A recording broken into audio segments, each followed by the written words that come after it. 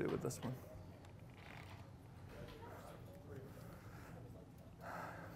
So, shall we get started?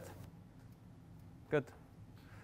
Okay, so our second recitation after Labor Day. I saw that 21 people did the readings. That's great, actually. Is there anyone who didn't do the readings here? Reviews? I didn't think so. So more people did the readings than registered, which is a good sign, I guess. Because some people want to register, but they can't. Okay. Uh, we'll, we'll probably talk about the readings a little bit also. Uh, I titled this Rethinking Memory System Design. I wanted to actually give you an overview of the paper that you read. I deliver talks related to that. So I'll, we'll probably talk about some of what you read, and hopefully this will be more of a discussion because you've already read the paper, and you can ask questions. But before that, I'll cover a little bit of things that we didn't cover last time. Why do research in computer architecture? Hopefully convince you that it's an exciting field. If you've taken 447, you can probably zone out a little bit. but it's always good to think again. And we'll talk about project proposal, timeline, and topics because you'll need to do that very soon. Uh, so hopefully you're reading other things in addition to what I assign. And we'll talk about review assignments for next week, which, are, which is related to project proposal. Maybe, maybe this will give you some ideas too. And then we'll go into the rethinking memory system design. Is that reasonable? Good plan? OK. So why do research in computer architecture? I think hopefully you're here for that purpose, right? But if you're not already excited, I think this is going to be even more exciting times for computer architecture and computer architecture research. And uh, this is a slide that I use in uh, 447. It's actually a really old slide if you can see that. This is 2005, right? And you're around 1 billion transistors over there. And Moore's law is, has been the enabling technology for a really long time. And you've, you've probably seen Moore's law. We're not going to go over this uh, in this class. And this is another look at it, basically. This is what Moore drew in the Electronics magazine in 1965. Basically, it's a very similar curve, except he didn't have all these years. But it has worked really well, right? Uh, people have actually uh, kept up the promise of Moore's law, if you will, somehow. People argue if it's an economic law or a psychological law. I'm not going to go into that argument, but it makes sense. It's both, perhaps, right? It's an economic thing, but it's also psychological, maybe, because you'd like to keep up that to deliver uh, double the components every other year. That was the initial thing, but it may have changed a little bit. But that's OK. It doesn't matter. Uh, OK, so you should probably take a look at that paper if you haven't read it. It's only three pages. But this is actually another way of looking at it. And this, is, this stops at 2011. But this, this gave us a lot of transistors over the years, uh, which has been a good thing, right? That, that has enabled a lot of integration on chips. Today, we, uh, we'll, we'll, we'll, soon talk about CPUs and GPUs and maybe FPGA-like structures on chip. That is enabled all because of this. If you didn't have the transistors, none of this will happen, right? Would have happened also. So that's the recommended reading. It's only three pages. And you can read uh, basically the code over here. With unit cost falling as the number of components per circuit rises, by 1975, economics may dictate squeezing as many as 65,000 components on a single silicon chip. 65,000 devices. Uh, well, we're already at, I don't know how many billion now, actually. And another quote, which is actually very forward-looking, I think, will it be possible to remove the heat generated by tens of thousands of components in a single silicon chip? And we're actually seeing this today. But I think uh, one, one good exercise to do is, what happens when Moore's law ends? And I think all good things come to an end. I don't want to be the doomsday uh, predictor, but I think it's going to end at some point, right? How many, how, how small can you make these transistors in the end, right? If you're, if you're using the CMOS technology. Uh, either, you, either, either it ends or you move to some other technology that enables that growth again. Uh, but once it ends, or once it gets close to ending, I think how you architect systems will be even more important. And we're already seeing this in the memory space, I think. We're not fully seeing it in the processor space. Uh, but basically, when technology scaling ends uh, or becomes more difficult, it always pushes a bigger burden on the higher levels of the stack. Remember the levels of transformation? If something is not scaling at the bottom, you, you try to solve the problems at the higher level. And that's a very fundamental rule, I think. That's probably not going to change. So every new beginning is another beginning's end also. uh, even if there's a replacement scalable technology, it will require new architectures to take advantage of it. So I think this fits really well into the memory domain today, but it's going to happen in processor domain uh, also. Does that make sense? Any? Nothing controversial here, right? Maybe you guys will see the end of Moore's law. Maybe not. We'll see. but uh, so I think architecture is uh, uh, becoming uh, even more important because of this, actually, because we're seeing a lot of the scaling issues. And scaling issues are coming from two directions. One is the technology scaling that I mentioned over here, and the other is the data scaling. At the high level, we have so much data today that that's scaling, and we need to somehow scale the systems to keep up with it. How do you do that critically depends on how you architect uh, computing systems. So basically, why do computer architecture research? I'll go through this really quickly. First, we'd like to enable better systems, right? Make computers faster, cheaper, smaller, more reliable, dot, dot, dot. And all of these, we want all of these actually today. It's not, it's not like requirements are reducing, it's they're increasing on the system. And this happens by exploiting advanced and changes in underlying technology on circuits. And enabling new applications, again, this is critical, right? If you actually have a new execution model, you can enable potentially new applications. And a lot of the things that we have, we take for granted today, happened because partially we took advantage of all of these transistors, right? Well, I don't want to go back because there's too much animation. But uh, because we actually architected systems such that we could enable these applications. And going forward, thinking about futuristic applications are becoming, uh, going to become more important, right? I think one important area is health area. Can you actually architect systems for personalized medicine, for example? How, what, what, what does it take to do that uh, is important. And of course, we need to enable better solutions to existing problems, uh, like the software. We, again, we take granted all of the software that we have, but it, it, is, it is there because we were able to scale the architectures, right?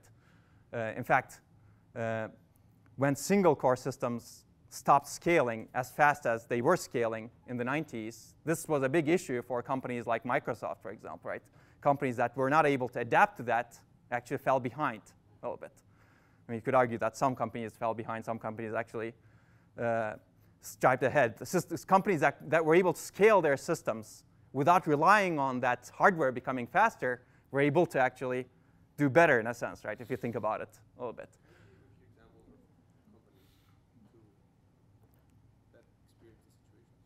Uh, like, so for example, uh, Microsoft software relied heavily on processors becoming faster, right? Intel becoming faster. Uh, and single thread performance. If the single. That, that's my question. Say it again? When, did it fall behind? Because it doesn't seem like it fell behind. Oh, this. Uh, I'm not saying a company uh, as a whole fell behind, but this was actually a difficult time for companies that relied on that hardware.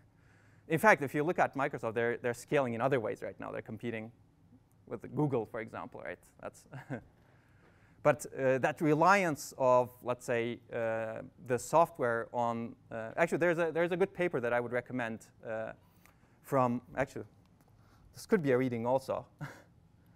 Uh, well, you can write it down. It's called uh, Spending Moore's Dividend.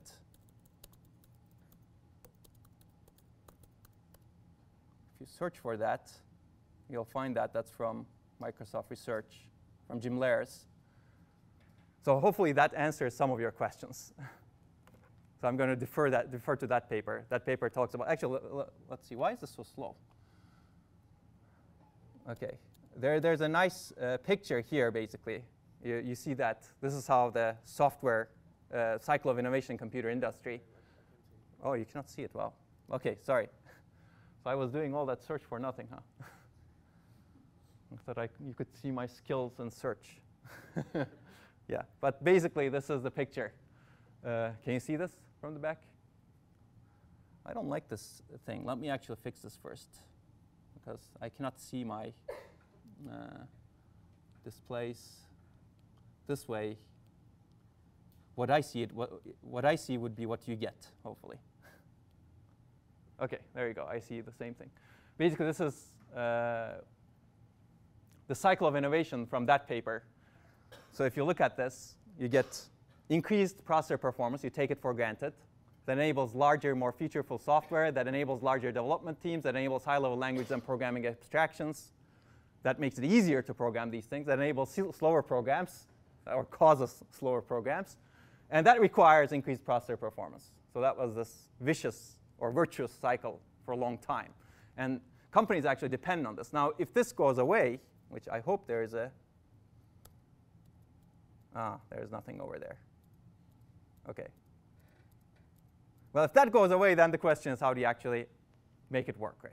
So this is actually a very good, uh, very good overview paper uh, that I would definitely recommend everyone to read. So hopefully that will answer some of your questions too. It has the scaling trends also. And okay. Okay. Now we have it here. Yeah, basically overcoming other challenges that we face is uh, like the Moore's, uh, Moore's law scaling problem uh, is another reason to do computer architecture research. But I think today is actually a very exciting time to study computer architecture. I truly believe in this. Uh, because we're really in a large paradigm shift today. That multi-core, shift to multi-core, that end of single core actually caused that paradigm shift. Because uh, I mean, you didn't live through those days, but during the 1990s, if you look at computer architecture, it was basically single processor. And how do you actually improve that single processor really well? That has basically changed. Today, if you look at uh, conferences, the research, as well as the industry, it's very, very, uh, there, there's no single dominant paradigm, right? People are talking about heterogeneous systems, people are talking about GPUs, people are talking about accelerators, but there's no dominant paradigm if you look at it. That, that was not the case in 1990s. That was not the case for a long time, actually, 1980s. So it's good to have that historical perspective. So think, think from this perspective. So we're still in that paradigm shift, I think. Uh, there are many different potential system designs possible. And there are many difficult problems that are motivating the shift and caused by the shift. For example, maybe we'll have a, a lecture on multi-core later on. Uh, we'll go into this a little bit more. But what caused multi-core is a good question also, right? I believe it's the complexity of the design, actually, it's complexity of scaling a single threaded processor to much higher performance levels, which requires a lot of complexity and in turn requires power and energy uh, uh, that cause the uh, move to multi-core. And soon there will be difficulties in technology scaling. The paper that I've assigned to you on uh, memory scaling uh, actually talked about one of the issues, and we'll go into that a little bit more today. And the memory uh, is not scaling very well. Reliability issues are popping up everywhere, as you can see with the Rowhammer problem, right? And programmability issue is caused by the multi-core. One of the good things about having single core is single-threaded architectures that keep growing faster is you don't need to deal with the programming issue, right? Programming single-thread programs is also already hard. You get bugs whenever you write single-thread programs. But with multi-thread programs, it becomes even worse. And also, there's huge hunger for data and new data-intensive applications. That are, these are actually motivating other shifts, in my opinion, right now. One of it being uh, doing more in memory, on the memory side, as you can see from the paper uh, that you read. So I think all of these, there, there are no clear, definitive answers to these problems. It's, in the past, there was one answer. Design better superscalar out-of-order processors, which you're actually studying in the first part of the lectures, right? So hopefully you're attending the lectures. The first half of the course is really about single core processors. Some of it will be reviewed, but hopefully from a different perspective. Uh, but that is changing today. There, uh, it, it's going to be interesting to see how all of these evolve, how we solve all of the problems going forward. But that's why that's exactly why it's an exciting time to study all of these problems. Uh, and the other common thing in, in, these problems is actually, if you look at everything over here, they affect the entire system stack, right? Uh, all, all parts of the computing stack. Uh, so for example, some issues coming up, uh, the Rowhammer problem, we'll give you an example, that actually threatens the security uh, uh principles that, uh, because that actually causes problems with the isolation, right? Basically, now you can circumvent memory isolation. As a result, someone can take over the system. And I'll actually talk about this in a little bit. Basically, some little, seemingly little reliability issue over here is actually causing the entire system to become problematic. Similarly, power issue, right? If, if, if the power is a big problem, how, where do you solve the problem becomes important. So it's good to think across the stack when you actually try to solve these systems. That's why you see actually systems becoming more integrated also across the stack. Like some companies that can do, do it really well are be, being more successful potentially, right? That are integrating across the stack. OK, so there are many new demands from the top coming, like the data-intensive applications. There are many new issues at the bottom. And there are fast-changing demands and personalities of users also. I believe users have evolved also. I think today's users are a lot more impatient than users in 1960s or 1950s, right? or they take things a lot more granted, right? Whereas if you were debugging that ENIAC computer in 1950s, then you would have a problem if you were not patient. Does that make sense? So I think all of these actually have are changing the ecosystem significantly. Okay. Well, this is like I think that was clear. Uh, basically, both the software and humanities trends and technologies and their issues uh, and the resulting requirements and uh, constraints are changing. They're, they're all very different. And every component and its interfaces, as well as entire system designs, are being re-examined today. And when you think about your project, think about it this way also. Basically, if you look at today, uh, even, the, even the interfaces that we considered very uh, granted, like the memory interface, the DDR interface, for a long time, right? Even that is changing right now. The processing in memory works that you're going to read, actually, hybrid memory cube interface, is a very totally different interface. It's a packet-based interface to memory, which was unimaginable 10 years ago uh, HBM interface. It's still DDR-ish. HBM is high bandwidth memory, but it's, it's basically, again, it has a 3D stack logic layer uh, that's already being adopted by NVIDIA and uh, AMD uh, in their GPUs. So, so it's, it's already happening. Uh, you're, you're adopting it too? you worked on it. There you go. So there's, there's evidence that it's happening. so I can use you as the evidence now citation. okay, but basically, uh, interface across everywhere is changing. The heterogeneous architecture interface is changing. Like people are proposing heterogeneous system architecture, right? That's uh, HSA. Uh, and interfaces to memory is also going to change if you have persistence in memory, and we'll talk about that. And you, you read part of, part of the research problems and opportunities paper talked about the persistent memory interface. I believe the interfaces to the GPUs will change significantly also. Today, maybe they're devices, but maybe in the future there'll be more first-class computing engines, right? And they will execute the program, and maybe that master-slave relationship will change significantly. A lot of things will become equals in the system, maybe. Maybe all of these will be become equals, and everything will be an accelerator in the end. Who knows, right? That's, that's all up for grabs at this point, which was not the case, again, 20 years ago. And definitely 10, 10, even 10 years ago. OK, this may be my last slide, but uh, basically, I think uh, you can actually revolutionize the way computers are built if you understand both the hardware and the software across the stack uh, and change each accordingly. Uh, I don't think you'll have a point solution anymore. Point solutions are good. They improve the technology, and they're good research in the end. But if you really want to revolutionize uh, uh, the, the, computer, the computing stack, then you'll actually need to change both of them at the same time. I, I really believe in this, but uh, we'll see. Maybe there's some technology that comes up that will change everything, right? We don't know that. So I think you can invent new paradigms for computation, communication, and storage. Uh, and I, I, recommend actually this book. I did recommend it in 447. Who read it in 447? No one? Maybe I should buy it for people. But even if you buy it, you may not read it, right? This is a hard book to read. It's not easy, actually. Has anyone read this book?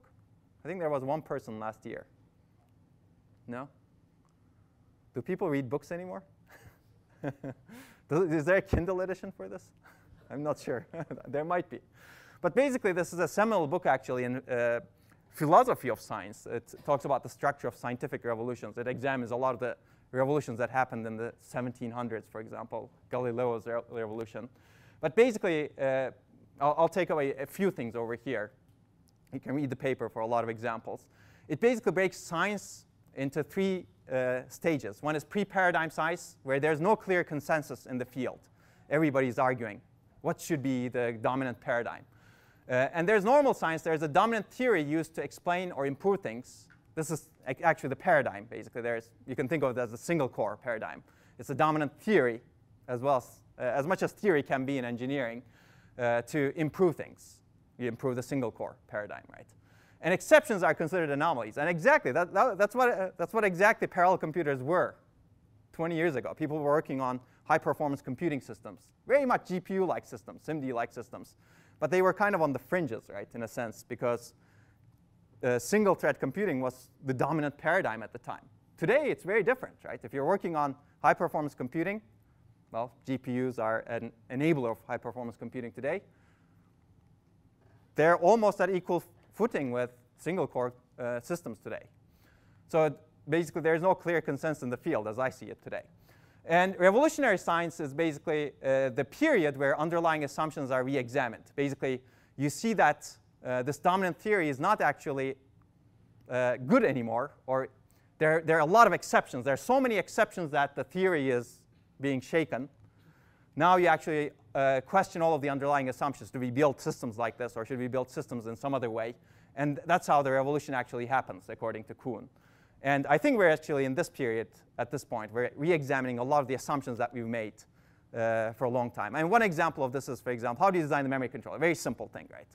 The assumption was exploit row buffer locality. Now, that needs to be re-examined, right? And we've been re-examining that for almost a decade now. Okay, and that's the guy, Thomas Kuhn. It's a very good paper, a very, very good book. but you have to have the stamina to read it.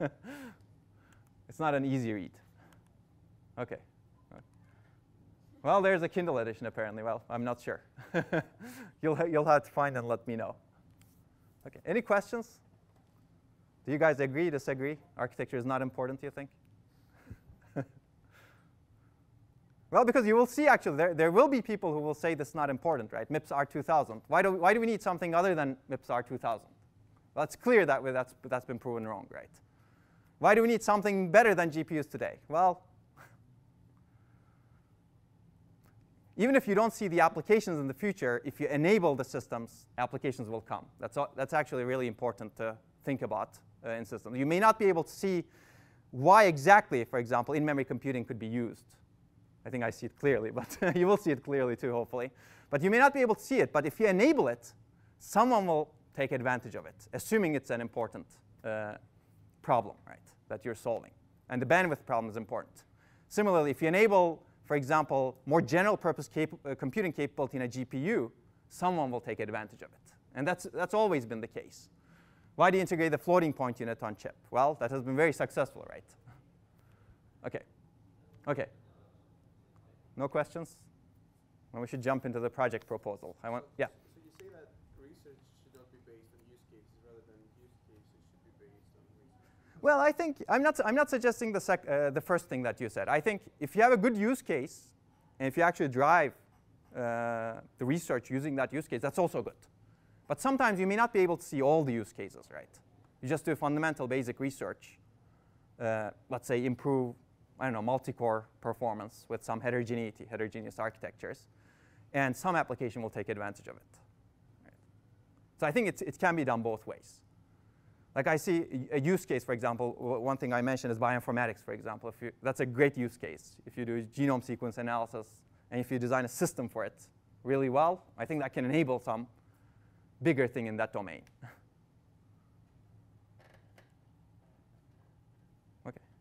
Okay, so you're ready to talk about project proposal? OK, let's talk about this, uh, and then we'll go back to memory.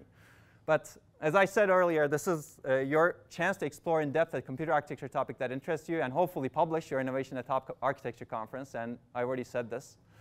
We'll have project topics handout. Uh, Nandita has them. Oh, OK, I have them apparently. I'll give them to you later uh, at the end of the class. Make sure you take these. I want to keep these confidential. I'm not going to put them online because there are a lot of ideas here, actually. Uh, you'll get exposed to them. You can pick them. And I will definitely uh, recommend that you pick something from this or related to this uh, if you want to get a lot of support. But if you have some other ideas, we should definitely talk about that too, and we will talk about that. OK, well, actually, we have this is, this is an old slide. We have the dates. There you go. well, it's true. Exact date will be announced, and it's being announced now. so it's still not wrong. So this is basically what we have for the project timeline. Uh, we have an additional step pre-proposal that's due September 15th, which is next week. And this is basically an email telling me and Nandita who are the group members or proposed group members and proposed topic. It doesn't need to be a proposal in that topic, but here's the direction that we're expecting to examine. Is that reasonable? A week. A week is pretty quick, but this is to get you thinking quickly, because that's how you can actually get into the research quickly. Uh, and then uh, we want the proposal on September 25th, so that's actually three weeks from now, kind of. Uh, and that's the full proposal. And you should look at the uh, project handout uh, for what we expect in the proposal. And then we have a milestone one plus literature review. Basically, uh, you will need to do this for your project anyway, who has done. And I'll, I'll give you an overview of what the pro proposal would look like. And then we have a milestone two. By milestone two, hopefully you'll have made a lot of progress in your research. Basically, well, the expectation over here is you'll have a lot of good results. Well, good is good doesn't mean that it proves your hypothesis or uh, it may be actually something new that you figured out, right? It, does, it, it means you'll have a lot of results, reliable results. And then the, we'll have report, talk, and poster, and that's to be determined. Is this a good timeline for everyone? Yeah? Yes? Uh, for the literature review process, are going to discuss uh, ideas and so on during the presentations? Uh, so we, uh, we'll, we'll need to figure out exactly how to do that. I would like you guys to present, actually, uh, the papers that you reviewed to the entire class. So ho hopefully the answer is yes. But we may need to actually do it. I'm asking not the material itself, the tools of doing that. That might be even more useful for us later on for research outside the course. Oh, uh, what for doing that? The, uh, for, for us doing research outside the course. So not only taking the material, -huh. just the tools of doing that. Oh, tools of doing a literature review. Yeah, we can discuss that. We can we can have a session for the tools. Yeah, we, will we'll have we'll still have time. So October 13. Uh, yeah, actually, I have a short uh, uh, lecture on how to do the literature review also. I can, we, can, we can actually expand on that when we get to that. Okay. Okay. But the intent is actually you'll present, uh, these are all presentations. And uh, the only report, well, the only report that you need is the proposal and the report. This is two to three pages, and this is like a paper, full paper. Okay? Okay. So what is the goal of the research project? And you should actually take a look at this thing. Maybe I'll go right now. If it works, something is happening. Yeah, so actually project guidelines are posted. All of the dates are over here. Yeah. You can look at the project guidelines. This talks about all of these things, pre-proposal advice, proposal, okay? Okay, I'm not going to talk about that. But I'm going to talk about uh, what is the goal of the research project, or any research in general. As we've discussed, it's developing new insight, right? So it's nothing different here. Hopefully developing new insight. That's our goal. Uh, basically, this comes from solving a problem in a new way or evaluating or analyzing systems and ideas. And I'll break it into two types. I'm not going to belabor the two types that much, but one type could be you can develop new ideas to solve an important problem based on your reading like hopefully you're actually reading. I, actually went over some of the reviews that you guys have done. Some of you have ideas on improving things. If you expand some of those, they could be pro project proposals. Uh, and after developing these ideas, you can rigorously evaluate the benefits and limitations of the ideas, right? This is one type of proposal that you can do. Like, oh, I have this idea. Maybe it's not fully clear yet, but you'll develop it, right? The second type is maybe you don't have an idea at this point, but you have a system in mind, you have a problem in mind. You should definitely have a problem, regardless of whether or not you have an idea to solve the problem. Basically, you, you, you propose to derive insight from rigorous analysis or understanding of existing systems or previously provided ideas. Basically, let's say you want to characterize, I don't know, retention time in DRAM, right? You don't have an idea of how to solve the problem, but you have this infrastructure where you would like to characterize the retention time and figure out what are the characteristics of uh, different cells in terms of retention time. And maybe after examining that, propose uh, new solutions based on the, that new observations that you make. Right? So this could be a proposal also, actually. Uh, so you could, for example, say, I'm going to look into, uh, I know, new heterogeneous memory designs. I don't know what to do over there exactly yet, but I'll look at maybe DRAM, uh, different kinds of DRAM and how to combine them together and how to take advantage of that uh, uh, in, at the operating system level. I know, I'm just making up project topics right now, but that's a good topic, definitely, like hybrid memory systems, right? How to do data management in a hybrid memory system. And perhaps you could have an application driving that, potentially. That could be pretty interesting. OK. So uh, I think what I want is the problem and the ideas need to be concrete, basically. The problem definitely needs to be concrete, but also what you are going to do about it needs to be concrete, whether or not you choose uh, the first one or the second one. And they need to be very clear needless to say. So let's take a look at a, a, an outline uh, of a project proposal.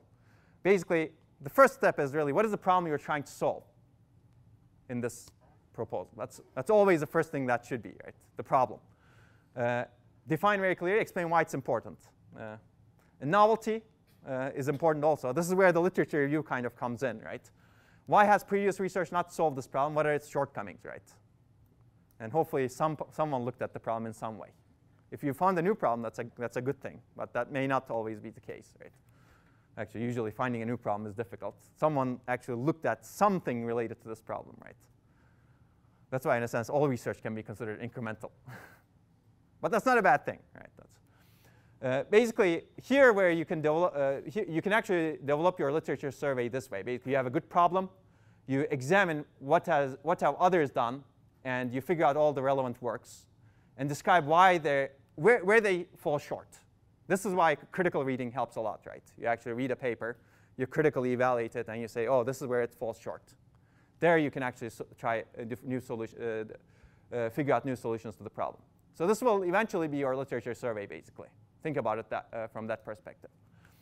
And next, what is your initial idea or insight? What new solution are you proposing to the problem?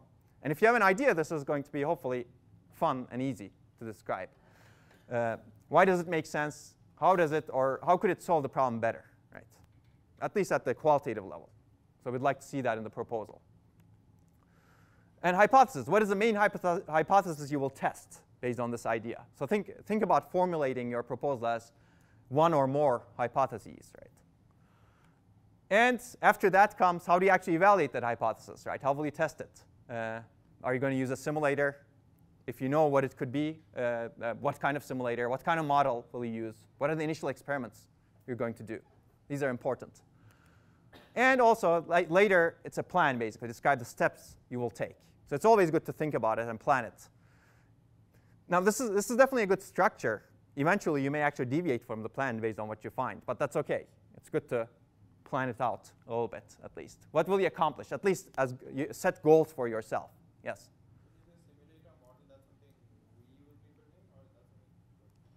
Well, uh, hopefully, if you choose the right project, you won't have to build a simulator.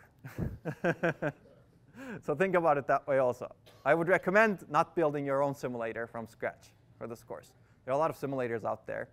If you choose the right project, you can actually take advantage of the simulator. You'll need to understand the simulator.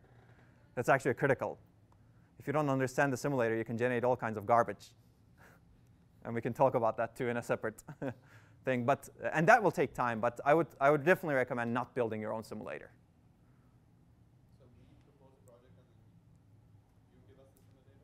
No, I won't. I may give, I may be able to give you the simulator if it's uh, among these projects. There are actually some simulators. There are some links uh, uh, from the uh, course website. You can take a look. But yes, we will definitely guide you in terms of what simulators could be useful. And we'll be able to do that more easily if the simulators are actually being used at CMU. So that's why I would recommend picking some project from here. And again, we're talking about simulators, but not, it doesn't, not everything has to be done in simulation, right? Maybe, maybe there's a project that uses some FPGA-based infrastructure, right? That's, that's also fine. If you come up with a project that doesn't require any of that, maybe there's some analytical modeling, that could be interesting also, yeah. So the evaluation method doesn't need to be just simulation. But if you are going with simulation, then I would definitely recommend not building it. That's a really good experience, by the way. If you're going to do research long term uh, in architecture, building your own simulator is a very humbling and nice experience, as long as you do it well. So I would, I would recommend that, but not within the time frame of two to three months. OK, so basically, uh, discuss the milestone goals. What will you present? Well, we don't have a third milestone, but what will you present in the first, second milestones? Uh, what is your moonshot if you're actually really successful? what is your goal? And I think all projects can be and should be described in this fashion. Basically, It's not that hard to distill things, and this is easy to read also. And actually, eventually, if you write proposals within a company or in academia, you will see this sort of structure appreciated by people as long as it's clearly uh, delineated like this. The second type is actually very similar. You still need to explain the problem very well.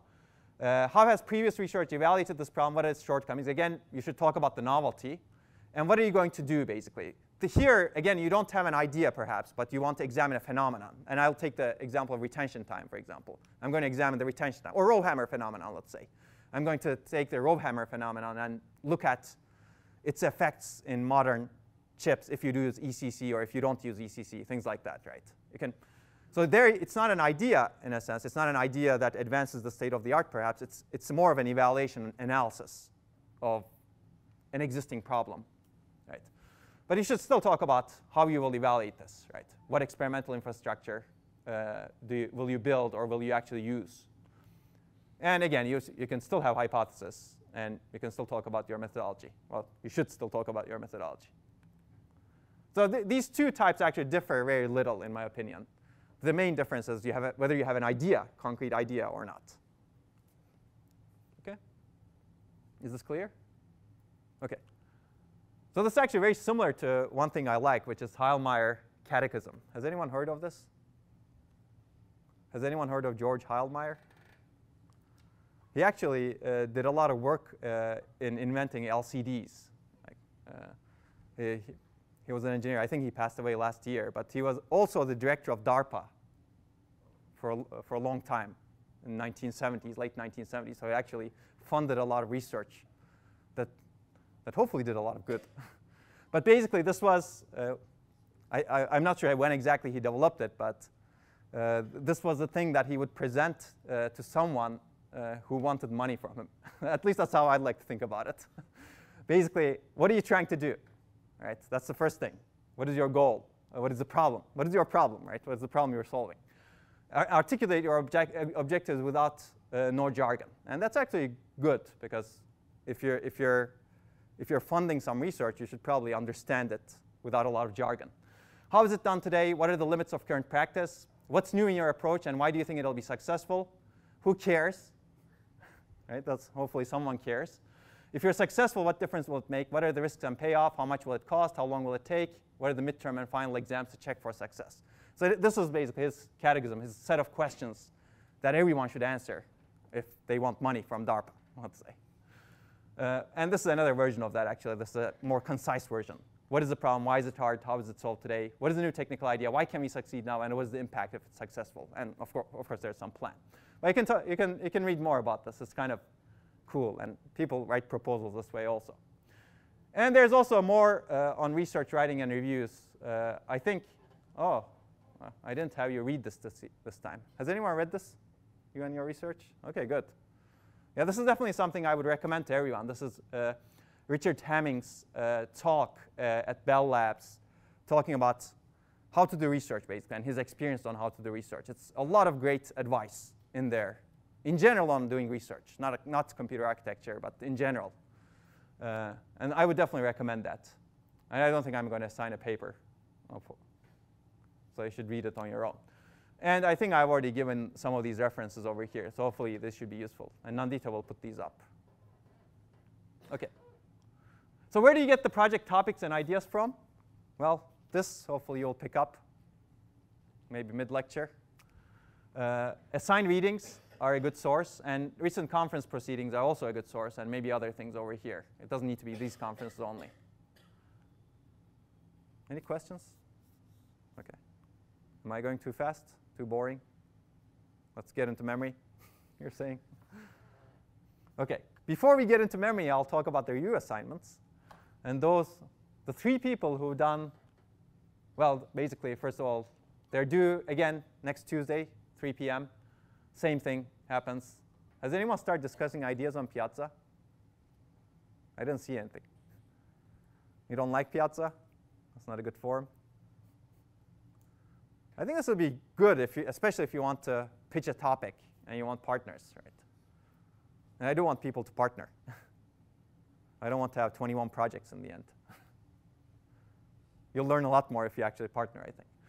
Uh, but this, this is something I will definitely encourage. Uh, but uh, so those of you who've done this review, I guess, are happy now because you have one less review to do. I think three people did that review, which was optional. But uh, this is the paper uh, that is required. Well, we have, I think, four papers that are required this time. Uh, and there's a related reading, too. So I would recommend the related readings, especially if you're interested in the idea. And the second paper that's required, uh, I wanted to actually diversify a little bit. Uh, that's about GPUs. It's a little bit out, uh, it's a little bit dated now, but it's, it kind of covers the landscape a little uh, nicely. It's this paper by NVIDIA, GPUs and the Future of Parallel Computing. And the review is required. It's a short, relatively short paper uh, in short format. It's not 37 pages for sure. yeah. But, and there's back, uh, background reading also if you want to learn more. This is an older paper the GPU computing era. And there's a related reading that's relatively new from AMD uh, on heterogeneous computing. And if you want to do a project in this area, I would definitely recommend reading some of these. The third paper is actually a more philosophical thing. This is really short. It's by uh, Jeff Ullman, who is a professor at Stanford. I guess Professor Emeritus right now. But I think it's, it's good to read papers like this also because uh, I actually believe in the, the, question over here.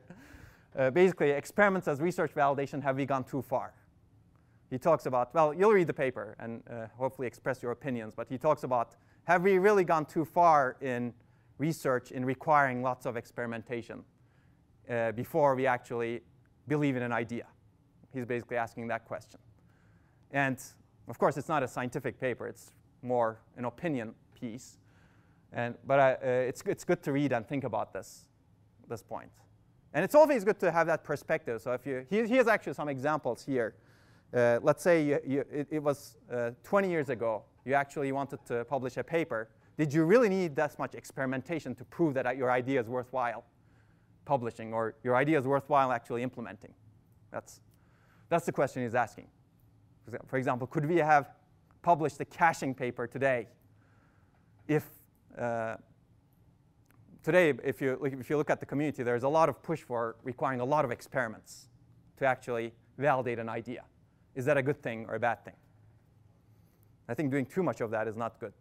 You, you actually need, you just need to have enough experimentation to prove a point and educating the community to actually buy this is important. Otherwise, we can actually limit our own progress because some big ideas are actually difficult to evaluate in general. So if you actually have a new computing paradigm, how do you actually evaluate it perfectly, right? There's no perfect evaluation in a sense.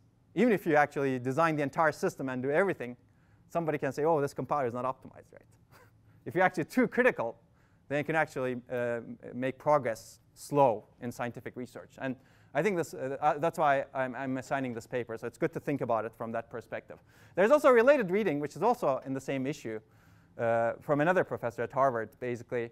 Uh, he's talking about theory more. Theory without experiments, have we gone too far? so he's basically talk, uh, he's from the theory community and he's talking about the theory. So it may not be as applicable to what we do. This is more applicable to computer architecture and systems, but it's good to read this one also. So there's always a balance in the end. And striking that balance for the fastest progress possible is really important. If you're extremely critical, if you actually reject everything, you disable progress. If you accept everything, now you have actually no basis for what is good and what is bad, right? So there, that, that uh, finding the appropriate balance between that, uh, between the right level of experimentation and right level of insight is really important. Okay. And the fourth paper is Nandita's paper. So since she's a TA, she dictates that you read this paper. No, she doesn't do that. I, I did it. I picked it. but it's related to GPUs. So uh, I want to focus the second set of readings more towards GPUs plus some memory also. So hopefully this will give you some ideas uh, in GPUs. And I picked this paper because now you can talk to Nandita about it. Uh, and there are some research topics over here that are related to GPUs that she can help with also. OK? Do you want more papers? no. Well, this is actually not that bad because this paper is just two pages. You can actually read it after class. It won't take much time. And there's also a fifth paper that's optional, but which may become required on uh, flash memory. Uh, we'll talk about flash memory, so uh, you may want to read that. And it talks about a phenomenon that's actually common to all memory, which is the read disturb errors, right? You, you read it in DRAM, the row hammer problem. If you, uh, well, we'll talk about it also. If you keep activating a row, another row gets disturbed. Well, that happens in flash memory too. And well, that happens in hard disks also. So it's very fundamental when some technology scales down to smaller nodes. Uh, these issues start popping up. and knowing the solutions uh, in other domains would be really interesting. And there's actually, flash memory is a really interesting area. Uh, uh, one, of, one of the criticisms, uh, which I agree with actually, of the paper uh, that you read, uh, the research problems and opportunities in memory systems, uh, many of you didn't think that that flash memory section fit in very well. And I agree that it doesn't fit in very well because it's not integrated very well into the entire piece. But I actually think flash memory is, uh, could be a really good component of the entire main memory system. And people are actually trying to do that. If you want to have terabytes, terabytes, and terabytes, or maybe petabytes of memory system, maybe use flash memory as an extension of your DRAM, right? And then allocate the data appropriately or manage the data appropriately between DRAM and flash memory. That's why I think it's not only storage, in my opinion, but also you could use that as extended memory. OK, so it's, it's good to understand. And, and the second thing about flash memory is there's very little public information on the algorithms used in the flash memory controllers, at least the state-of-the-art algorithms used in the flash memory controllers. And this paper is uh, one of the recent ones. So we were actually lucky to have collaborators that enabled a lot of that research. Uh, you'll, you'll, find that flash memory is very much based on patents, and you don't know what's going on in a sense. So, but it's, it's, a, it's an area that's difficult to do research in. Any questions? But that's optional. So if you do it, hopefully next week or some week, you'll be less busy. OK. Uh, what time is it? 8.17. Does anyone need a break? Or Four minutes? Four minutes? OK, four minutes. so 8.21 we can be back, or 8.22 now. I think so. OK, let's get started. So if you haven't taken a handout, take it, but it seems like everybody has. There's only one left for me.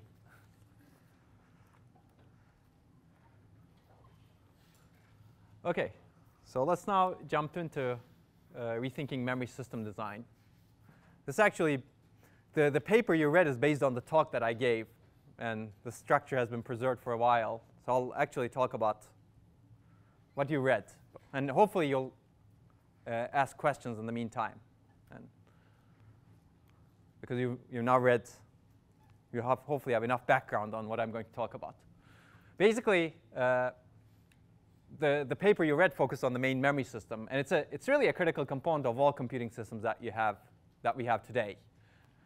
Regardless of whatever system you're designing, you need to have some sort of working storage, right? Main memory is really the working storage. And this system must really scale in many, many dimensions in size, technology, efficiency, cost, and algorithms that we use to manage it to maintain the performance growth and technology scaling benefits that we've been used to for a long time. And I mean, I've written th uh, that paper with my PhD student, Lavanya, uh, to talk about the issues that we face in scaling this system. Right? And it, you will see, actually, the paper that you're going to read from NVIDIA talks about the system a lot, memory efficiency and memory bandwidth. Uh, they have a good section on that, talking about how data movement is a lot more expensive uh, than computation. Actually, there's a good slide. I, I don't remember the exact numbers, but if you, a, a read, a data read from DRAM takes about 16 to 20 nanojoules, uh, whereas a floating point computation is really on the order of picojoules. So, so there's a huge orders or an orders of magnitude difference uh, in computation and communication costs. So that's why this system is the scaling limiter today. Uh, this is another view uh, of the uh, memory system, and it's a shared resource view. And this is a cartoon, but this is actually true in most systems that we design today. If you look at the systems, the red parts are dedicated to computation, and they're the minority. they're actually small. Everything else in the system is dedicated to data movement and storage, interconnects, caches, more caches, memory controllers, more caches, or shared memory, and storage, right?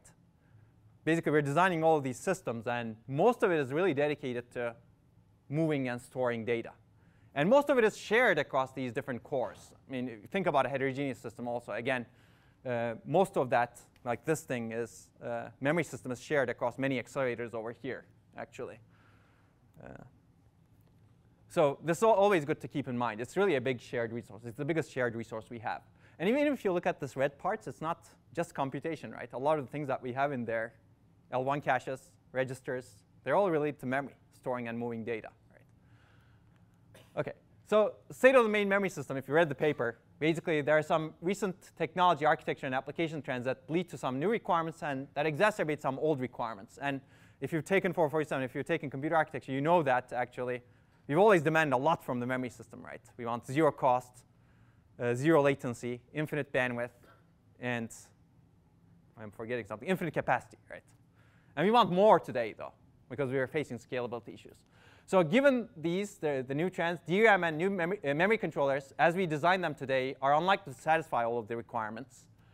Uh, and there are some emerging memory technologies that happen to be non-volatile that enable new opportunities. Uh, and hopefully you read the memory storage merging part. Do you guys remember that? The single level stores or in general memory and storage merging. How do we actually rethink the memory and storage system together? I think that's a really good uh, direction of research also. Uh, but basically, given these trends and the requirements, we need to rethink the main memory system to fix the issues we're having with DRAM, which we will talk about soon, and to enable the emerging memory technologies. Because this is, a, this is in a sense, a new opportunity, right? This opportunity was not there before for a long time, while satisfying all the requirements, of course. And these requirements are important. So what are actually, uh, let's talk about some of the trends that are affecting main memory. So if you read the paper, I'm going to go through this relatively quickly. But basically, we need more from memory uh, we need more capacity, more bandwidth, more quality of service.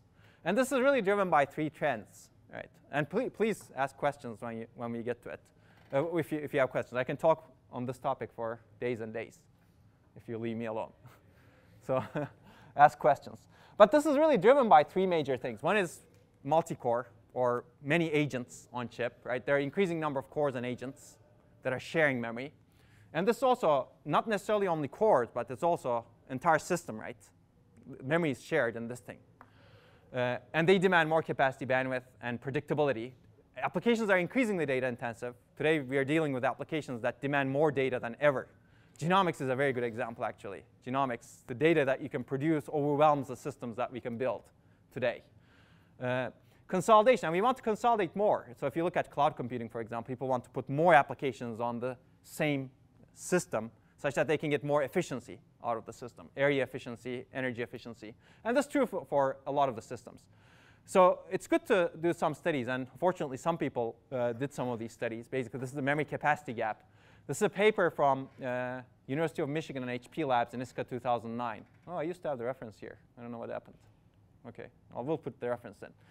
but uh, basically, it's Kevin Lim, uh, Partha Ranganathan. Uh, I believe Trevor Mudge is also an author in this paper. Basically, what they've shown is core count is doubling approximately every two years, and DRAM DIMM capacity is doubling approximately every three years. As a result, you have this memory capacity gap, right, which is growing between the core count. So if you do the math, memory capacity per core is expected to drop by 30% every two years. Now, if you're relying on a single thread getting more memory, basically you're not getting it. Right? You're actually getting less memory, assuming you're consolidating on the chip which is a problem because now how do you actually add more features to your single-threaded program? This puts a lot more burden on the programmer. And trends are actually much worse for memory bandwidth per core. So hopefully uh, the GPU paper from NVIDIA will actually convince you that this is a very important problem. Uh, but basically, memory bandwidth is increasing by 10% every year, except for some jumps, like the 3D stacking has actually enabled a little bit more. Uh, but that uh, some people have referred to that as the uh, dumbbell approach to designing systems. You have this uh, extremely uh, compute-intensive CPU and uh, memory, and you're connecting them uh, with a little channel that really bottlenecks the entire system. That's basically the bandwidth problem, right? Maybe that connection is not a good connection, good way of designing systems. But trends are actually much worse for memory bandwidth per core. And if you're actually going to do a project in this area, I would actually plot, do, do a plot like this for memory bandwidth. That would be really interesting to see. OK. something?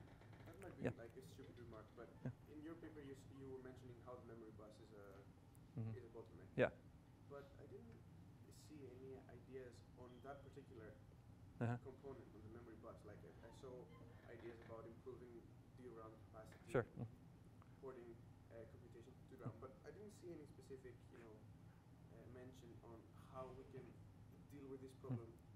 Well, one example is doing computation on the other side, which is not bringing data. For example, if you're doing page copies, row clone, you can think of it as solving that problem also, right? It solves a lot of other problems also, but you don't use the bandwidth over there, but you use the internal DRAM bandwidth. Yeah, such that you don't. Not, like,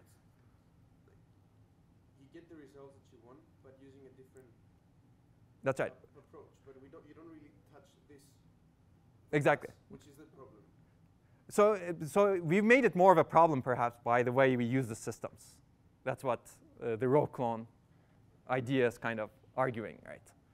So the, the, there are many. There could be many approaches to this. I think what you're getting into is how you actually increase the bandwidth of that bus, which is also a very important, right? How do you actually do that with low cost? And that's that's a good problem also. I think one of the ideas sub-array level parallelism tries to do that. Not necessarily increase the bus, but better utilize the DRAM bandwidth internally. I mean, if you can do that, that's good actually. And there are some ideas uh, that we can discuss that try to increase the parallelism or bandwidth. Exactly, interconnect, very good, efficient interconnect technologies uh, actually can enable that, certainly. We didn't discuss that that much, but there are a lot of, uh, there's a big solution space, certainly. But I think uh, that's actually a difficult problem. It's uh, certainly you can investigate that, and people should investigate that. But if you can actually uh, design the system such that there is no single big bottleneck anywhere, that would probably be a good solution. That way you can scale all, all of the components at the same rate, instead of trying to solve this problem that become that has become really difficult. Okay. Okay. So the other uh, uh, uh, big uh, trend affecting main memory is uh, energy and power is a key system design concern today. Actually, this is another paper that I would recommend. It's by Charles Lefurgy et al. I think it's called uh, Energy Consumption in Servers or something like that. Basically, it's, it's too late for me to remember the reference names right now. Uh, but uh, IEEE Computer 2003, they have examined the energy consumption of big iron systems at IBM. These are really huge systems. And they've shown that approximately 40 to 50% of the entire system energy is spent on the off-chip memory hierarchy. Now, this includes off-chip interconnect, off-chip DRAM, off-chip storage, off-chip caches. Uh, and this is actually a nice paper to read. And one of the issues is DRAM consumes power even when it's not used. And this is the refresh problem that you read about. You need to periodically refresh it. And this is going to become even worse going into the future. Uh, and I'll talk about some other papers from Samsung and Intel that actually talk about refresh being one of the big scaling limiters in DRAM. And the third issue is DRAM technology scaling is ending. And I think we have more evidence for it uh, going forward, which we will talk about. Basically, ITRS uh, publishes this report, International Technology Roadmap Semiconductors, publishes a yearly report on the scaling issues in technology. And they've been projecting for a long time that DRAM will not scale easily below X nanometers. Of course, they assign a value to X every year, and that value gets keeps reducing. But it's clear that as you push X down, uh, it, it's, it becomes more difficult to uh, scale DRAM. Uh, well, it becomes more difficult to actually maintain the properties that we want from DRAM. And scaling is actually, scaling means basically you reduce the size of the circuit, right? That's, that's the way I use it over here. It's not like you build many, many servers. That's another way of scaling. That's really technology scaling. You reduce the size of the circuit uh, with which you build memory. It enables higher capacity, lower cost, and reasonable energy, hopefully. And if this is not happening anymore, at least reliably, then this is actually threatening a lot of this over here, at least with DRAM as the memory technology. So that's why I think all of these are really interrelated, because if this scaling is ending, energy and power will become a bigger problem, refresh will become a bigger problem, and ca if capacity and bandwidth is, are not scaling, all of this will become a bigger problem. So hopefully the problem is clear. And the GPU paper will provide more evidence to it from the industry perspective. Uh, so what is this DRAM scaling problem? Uh, basically, if you look at DRAM, this is, uh, how many of you have taken circuits courses? So you know what the circuit is, hopefully. It's pretty simple. But basically, uh, in any memory device, you need a storage device and an access device. Any memory you build, this is really important actually. Access device is also called selector device in some domains. But the storage device in DRAM is the capacitor. You just need that actually. But if you not want to be able to access that, you need this access device, which consists of the access transistor and the sense amplifiers that uh, sense the charge that's shared by this capacitor when this transistor is turned on, right? So for this circuit to work, this capacitor must be large enough for reliable sensing, first of all. And this access transistor must be large enough for low leakage, right, through this RC path and high retention time. The problem is as you reduce the size of the circuit uh, in different dimensions, uh, it becomes more challenging to maintain both of these properties. And this was actually, if you're curious, this was the value that was assigned to X by ITRS in 2009. In 2009, they said uh, reducing the size, feature size below 35 nanometers is challenging. Now they say challenging. It's clear it's challenging. What do you think uh, the size, the feature size of modern DRAMs are? Yeah, it's around 20 actually today, but, but it's going down certainly. Certainly companies are pushing it down. So it's clearly we've scaled it beyond, but it's come at a cost. And the cost you read already, right? Uh, which is uh, one, at least one evidence of the cost. There may be other costs that we don't know of, which, which is, by the way, it's a, it's a really interesting area to, to figure out what are the failure mechanisms in modern DRAMs going forward. Yes?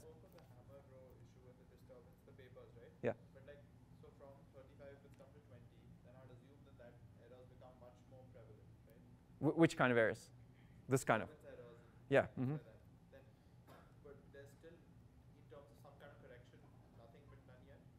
Yeah, so we'll talk about that. Yeah, I'll, I'll, recommend a paper. So industry is now proposing in DRAM ECC, error correction codes, which was a big no-no for a long time.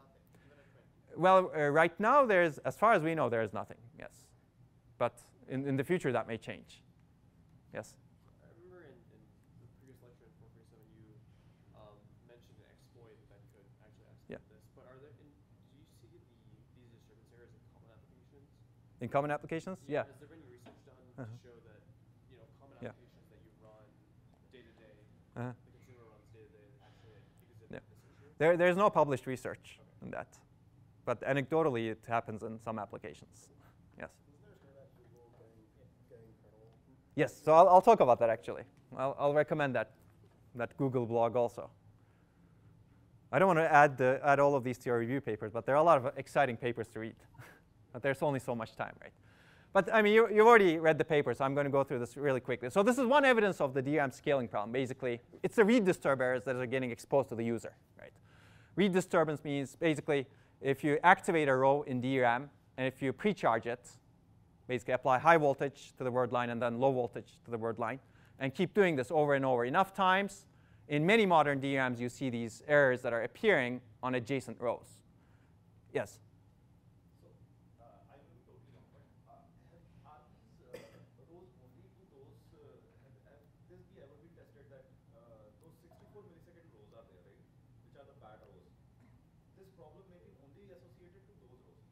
Yeah, you should, you should read that paper. yeah, it, it, it, looks at whether or not it's associated with the weak rows or not. It doesn't look like that's the case. So this is happening, uh, you need to do this enough times within a refresh interval. So this is happening within the refresh interval, 64 milliseconds. So you basically hammer the row, activate precharge, activate precharge, activate precharge enough times within the refresh interval before the adjacent rows get refreshed.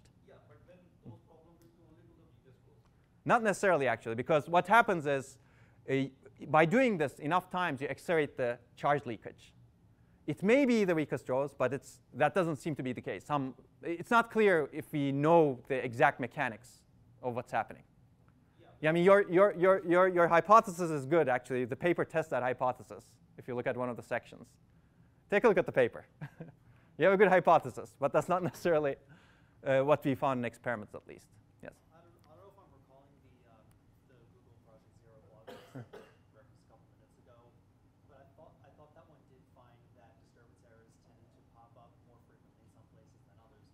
That's right. That's right. That, that's still sort of unresolved. That's right. It's not clear what kind of cells, though. They, they haven't tested it. Maybe Jeremy can talk about it later. OK, let me, let me move on. But I think that's basically you have some hypothesis. Are these happening to rows that have less charge uh, to begin with? May or may not. Because what's happening is really here, uh, you have this disturbance. And it's not only it's not only about the charge that exists in the cells, but it's also about how much disturbance that you can cause to that if you cannot cause enough disturbance. So if you can cause enough disturbance because of some variation effects here in the circuit to a very strong cell, maybe you can drain that cell if you do this enough times, right? Basically, what you're doing is really accelerating charge leakage in the adjacent rows. That's my explanation. Again, it's very difficult to prove everything without knowing the exact circuits. OK, so this is the hammered row. These are the victim rows. And this is very fundamental, as I said, in memory. All memory will have this effect. If you design some magic memory, if, you have, if it's electrical, you will, have this you will run into this problem eventually as you scale the circuit down. And hard disks have this also, by the way, but we can, we can ignore that for now. But basically, the, the scary thing in DRAM is uh, this happens in the chips that you can buy today. As a result, it gets exposed to the user, because most DRAM today doesn't have error correction, right? It doesn't have a way of handling it. Yes? So, uh, when we have this victim rows, right, Yeah. does it happen because uh, the activation of the word line, I mean, those get partially charged and kind of partially activated, or does it happen because the access transistor in the middle uh, seems to maybe be kind of open and then the bit line gets. I see. So it's not clear, yeah. I mean, the, the exact circuit mechanisms, it's really, you can read the paper. There are several hypotheses, but it's very difficult to prove exactly what it is. And it's probably a combination of mechanisms, actually, according to manufacturers. It's probably a combination of mechanisms that exacerbate the problem. So we'll talk about actually read disturb errors in Flash. You should take a look at the paper. There, the mechanisms are better known. So in Flash, what happens is when you, when you program a word line, uh, you apply some, uh, well, when you read, when you read uh, a word line, when you read a row, let's say, you apply some voltage to it. But you also you apply a higher uh, voltage to other word lines uh, in the same uh, in the same block. And as a result, if you keep reading from the same block, the pages get disturbed because you're actually applying high voltages. We'll talk about that, and you should read the paper. So there, the mechanisms are a little bit better known. But here, internals of DRAM are a little bit harder to gauge. But I think this is, an, it sounds like an interesting problem where some of you should do projects on. yeah, it seems like it attracts some attention. Okay, but so uh, if you look at DRAM, it's not protected, it's directly exposed. So this kind of area gets directly exposed to the processor, right, and the program in the end. So if you read this paper, which I have not assigned as a review paper yet, maybe we'll do it later. I wanted to focus on GPUs first. Uh, most of the chips that are tested from different manufacturers exhibit this error, more than 80%. And you can read the paper for the exact details. Now, you can actually expose these errors with a user-level program that looks like this. You can actually download this program. And Google has a better version of this program, apparently. Uh, but basically, it's a seven-line program. What it does is it basically does this, right? It ping-pongs between two rows uh, in the same bank. So you need to select the addresses appropriately, of course, to cause this, which means that you need to do some reverse engineering or you need to be lucky such that the things go to the same bank. And you need to circumvent the caches, of course, to ensure that you're accessing memory. As a result, you can cause errors. Uh, and this is, again, from the paper, basically. The real systems are vulnerable, and the vulnerability, the errors, or the rate of errors depends on the access rate. And it's not a linear relationship. Uh, basically, you need to be able to leak the charge out of the adjacent cells fast enough before they're refreshed. Right? So you need to be able to access memory fast enough. That's why, maybe I should be doing this since you're, it's recorded over here. So that's why the systems that have higher access rates to memory see more errors. Okay. And why is this a scaling problem? So it's, it's a scaling problem because older chips don't have this problem, actually. So DRAM manufacturers were somehow able to not expose it. But it started appearing recently, and all of the chips that were tested in this paper between 2012 and 2013 were vulnerable. They exhibited this problem. Basically, somehow it slipped into the field, right? Uh, and that, I mean, that you can hypothesize why that, why that happened. And it could be hard to test for these errors, right? Testing is a problem, actually. Testing is a problem on any chip today. As you scale down the technology, you've got to ensure that it works. And it's becoming more difficult uh, in DRAM also. So it's, not, it's no big surprise.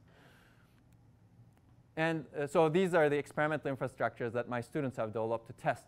So if you're interested in this problem, I would recommend reading some of the other related papers. And these slides will be available. Uh, and actually, uh, if you want to do a project related to DRAM, you can use this infrastructure too. So it's good to think about potential projects related to this. What else can I do with an infrastructure, FPGA-based infrastructure that can actually test DRAM? Uh, this is where you can exercise your creativity. If you have a failure mode in mind, think about it. OK, then this is the newer version. And we can actually uh, help build uh, even bigger infrastructures. So basically, you should, you should take a look at the paper. But one question is, how do you solve the problem, right? That's, uh, what do you guys think?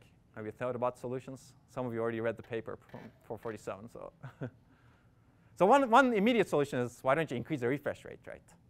And that's actually what some manufacturers have done. Uh, if you look at Apple, Apple has a security update recently where they say they increase the refresh rate uh, to actually fix this problem. Uh, it's probably not a good idea.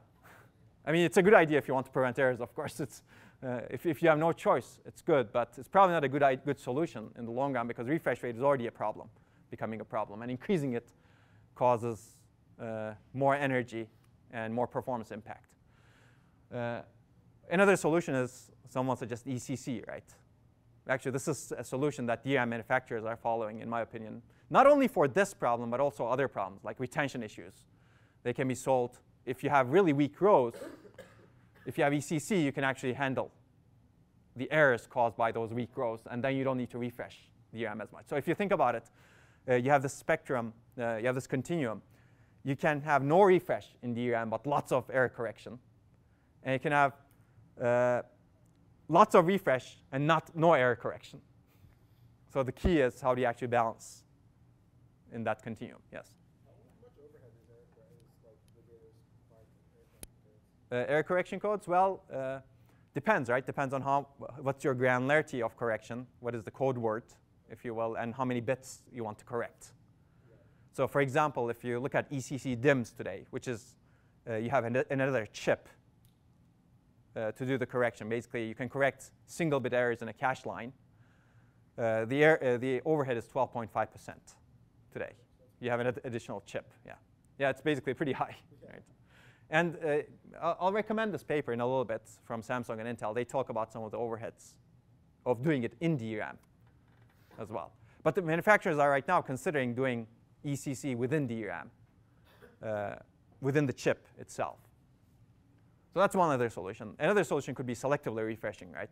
Uh, and the paper talks about that solution, yes? you had another paper for variable refreshing? Like that's right, yes. Uh -huh. Yeah. So you might you have the physical address, you know where the, the hammering uh, mm -hmm. happens, so you might just refresh that part. That's right, exactly. If you can somehow figure that out, that's, a, that's one potential solution. Then the key question is how do you track those physical addresses at low cost? Yeah. I would recommend reading the paper for the solution space. It talks about the solution space. But I think one scary thing about a lot of these scaling issues is one can actually take over the entire system that's otherwise secure, right? Otherwise, you can have perfect security. But if you have this little bug in your system, somebody can take over. And uh, some of you read the paper, but uh, the paper starts, memory isolation is a key property of a reliable and secure computing system, and access to one memory address should not have unintended side effects on data stored on other addresses. In a sense, that's where the secure systems are built. But I would recommend this uh, blog from Google that actually exactly uh, tried to exploit this fact, the fact that you can actually change another address by just reading an address. Uh, and it's a nice blog. Uh, you can, this is actually directly from, copied from uh, that blog. They say they test a selection of laptops and found that a subset of them exhibit the problem and they, they built two working privilege escalation exploits. And you can read that. And how they did it is pretty interesting, actually. Uh, basically, uh, what they did was, and they explained this in a little bit detail.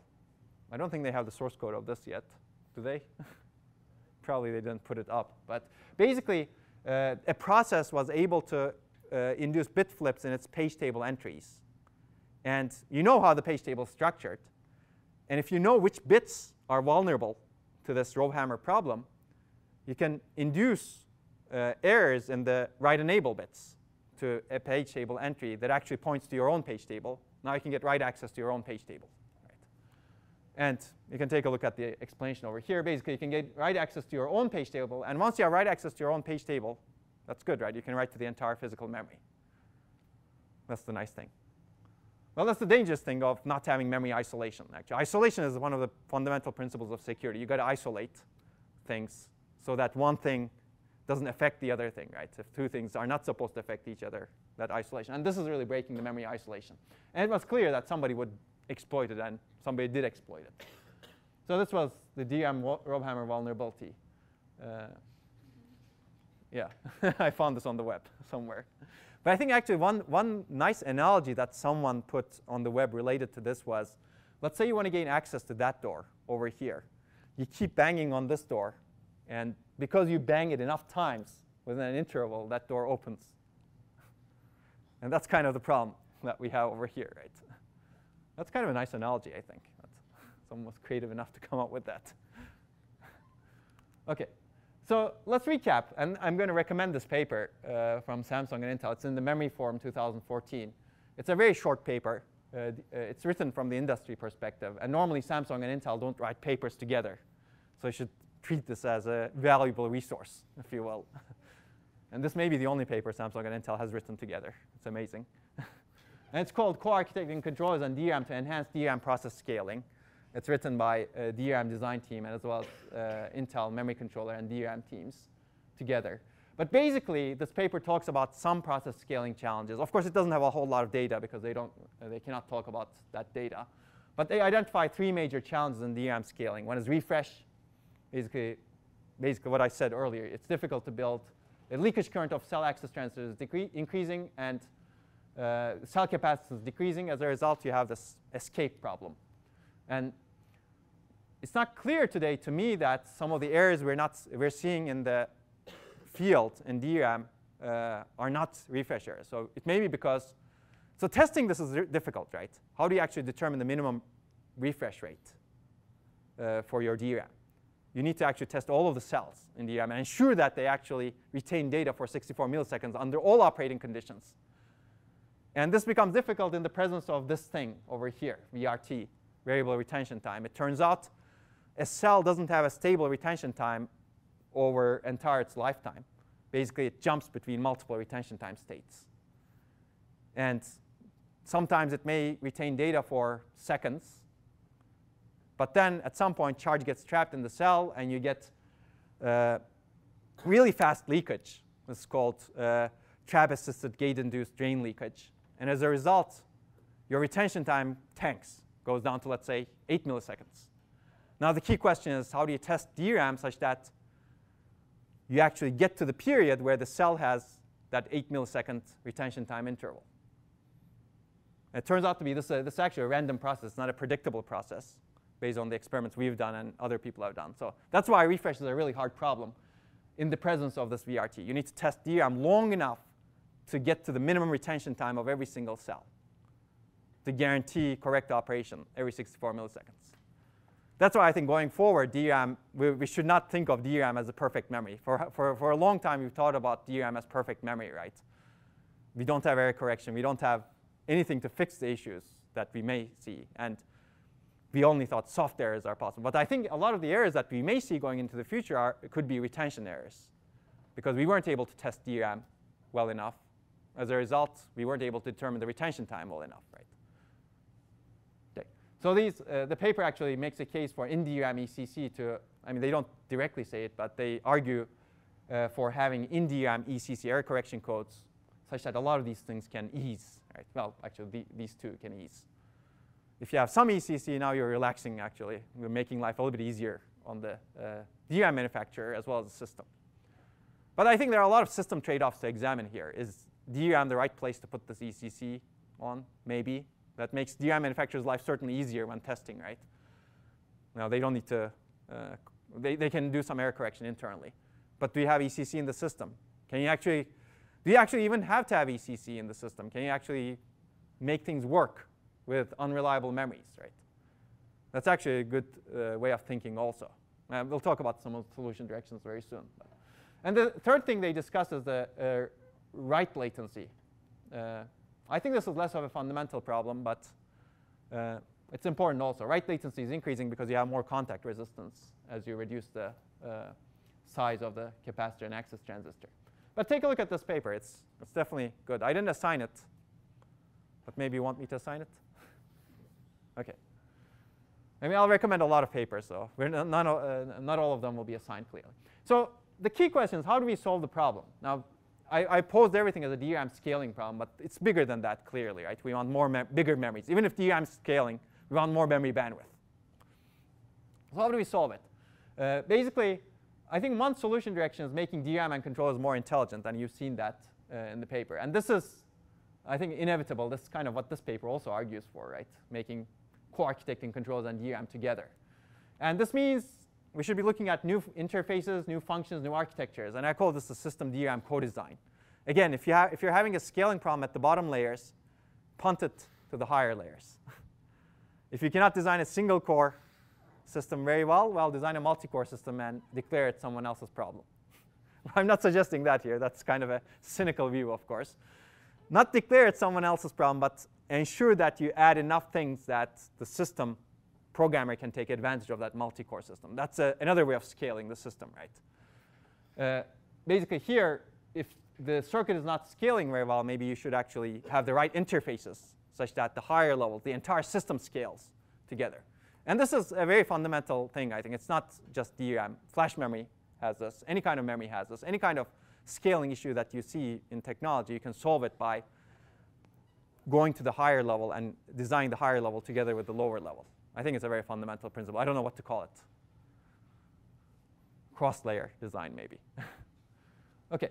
Uh, and we'll talk about that. Uh, and the paper talks a lot about that. And I think given this trend, actually in-memory computation becomes really interesting because people are already designing new interfaces, thinking about new interfaces to memory.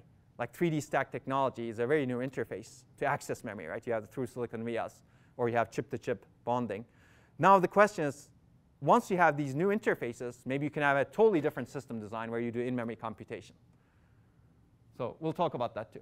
But the second solution direction uh, is eliminating or minimizing this problem, right? If you can do it, that's also good perhaps, right? If you have a different technology that doesn't have all of these problems, why not move to it, right? If you can somehow do it.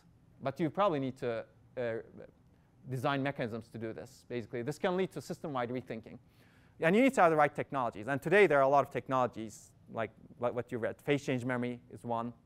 Uh, STT-MRAM is another. Memristors is another.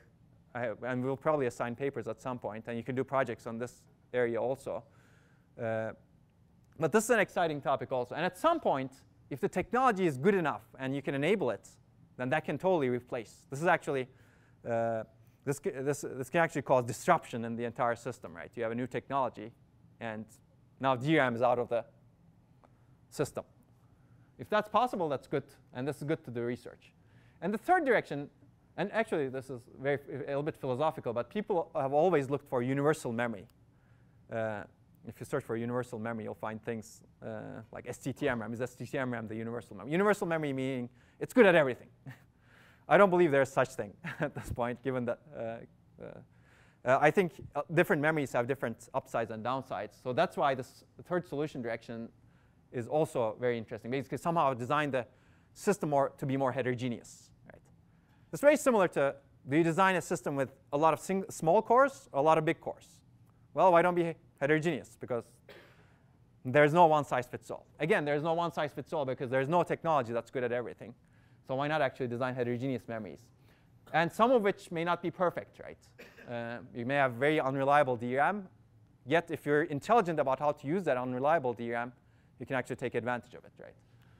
So this, this can actually lead to new models for data management and maybe usage. So all of these different directions are actually good project topics. And maybe you can think about other things over here. So I think what's clear, and that, that's what the paper uh, was written towards also, whatever solution you come up with, I think you'll need this sort of so software, hardware, and device cooperation because the device is not scaling very well. So you'll need to rethink uh, a lot of things in the system. For example, uh, I think emerging technologies are pretty exciting because they actually may change how we think about algorithms, right? If you have persistence everywhere, let's say, how do you design the algorithms? Uh, that becomes really interesting, I think. Or if you have some memories that are unreliable, how do you design maybe the algorithms how to take advantage of unreliable memories, right? Okay. Any questions? You guys have been asking questions, but is it getting late or am I going over time? Not yet. I'm not going to finish this talk, definitely. but so uh, let's talk about the solution directions a little bit. I think there are three broad solution directions. One is fixing DRAM. How do you do that? Well, system DRAM co-design, new DRAM architectures, interfaces, and functions. And industry is actually moving toward this direction. That paper is a good example of it. Uh, better waste management is important also. I think there are several key issues to tackle. Reliability is critical. Energy is also very important. You will see that actually in the NVIDIA paper. Improving latency and bandwidth, they're important. Basically, I think we need to fix everything in DRAM. Uh, reducing waste, and we're wasting a lot. It's, it's always good to think about we have this technology that's not scaling. Are we actually wasting it? And if you actually look at memory, we're wasting a lot of latency, for example, because timing parameters are, uh, uh, are actually very conservative, right? And I'll, I'll probably talk about a paper related to that. But if you look at it, we'll need to uh, improve a lot of this. And enabling computation close to data can actually help a lot of these. That was the point of the talk uh, that you've uh, that you listened to and found really fast. So hopefully I'm not talking that fast here. I had only 20 minutes. okay. But I think enabling computation close to data can actually reduce energy because you don't need to, one of the big energy consumers is really that interconnect between memory and processor. And you'll see that again in the NVIDIA paper. Uh, uh, it can improve both latency and bandwidth because now you have access to this huge bandwidth in memory, right, internally in memory.